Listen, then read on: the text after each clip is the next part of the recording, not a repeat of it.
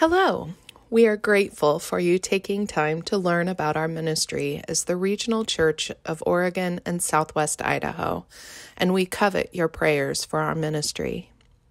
Greetings from our regional staff, regional ministers Doug Wirt and Kathy Myers Wirt, bookkeeper Liz Cronin, communications Stacy Shelton, and new church and leadership development Bernice Rivera.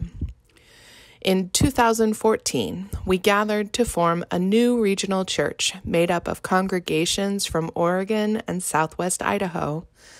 During our three worship experiences, we used water brought from the rivers that run through our cities and towns and combined those waters in different ways. We gave people jars of changed water to take back to their congregations. We formed five districts, each of them named for a different river system in our geography. In the midst of deep changes due to COVID-19 pandemic during 2021, we still saw familiar highlights emerge in our shared ministries. Our deep connection to our global ministry partners of FEDICE Ecuador remains strong, with over 20 members from our region participating in a virtual pilgrimage to visit Ecuador facilitated by global ministry staff. We continued to offer resources for training in a wide variety of topics by using webinar formats, while also providing COVID 19 resource updates. Our regional elders kept a pastoral eye on the retired and specialized clergy.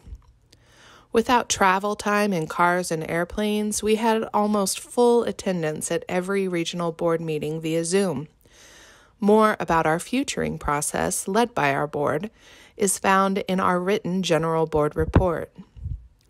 During 2021, giving patterns have remained strong, with a record response to our annual fund and Christmas offering, as well as an increase in all but one of the regular offerings and a slight decrease in DMF.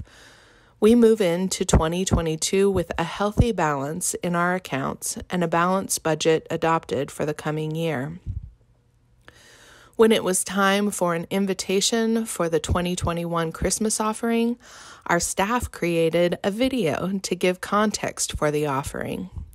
Here is part of what we told ourselves about ourselves in that invitation.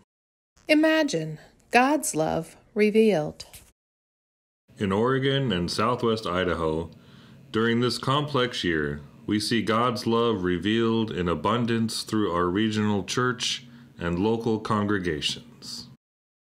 We see God's love when ministers gather online in district groups and support each other.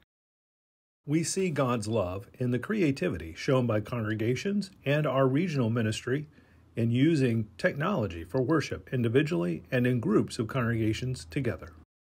We see God's love in our newer congregations, with one adapting a Spanish language worship service into a new radio ministry, and another tearing down their fellowship hall to build affordable housing units.